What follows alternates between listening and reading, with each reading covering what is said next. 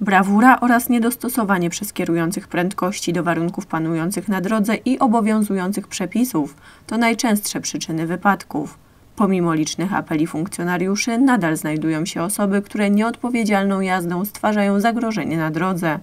Tylko w miniony weekend na terenie powiatu kutnowskiego doszło do 17 zdarzeń drogowych. Większość e, zdarzeń, e, czyli 15, były te kolizje drogowe, które zakończyły się na szczęście mandatami karnymi. Jednak niestety w przypadku dwóch wypadków drogowych aż 13 osób odniosło obrażenia. Do pierwszego zdarzenia doszło 14 lipca o godzinie 21.20 na autostradzie A1.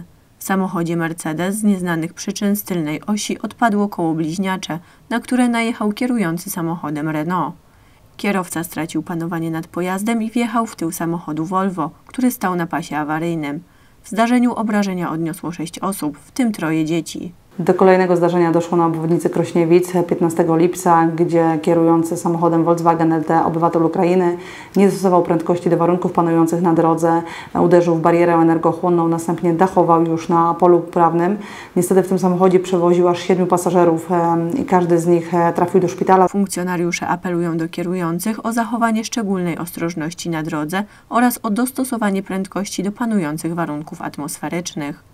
Wszyscy uczestnicy ruchu drogowego powinni mieć świadomość, że swoim zachowaniem mają wpływ na bezpieczeństwo innych osób. Dla wiadomości dnia Anna Królak.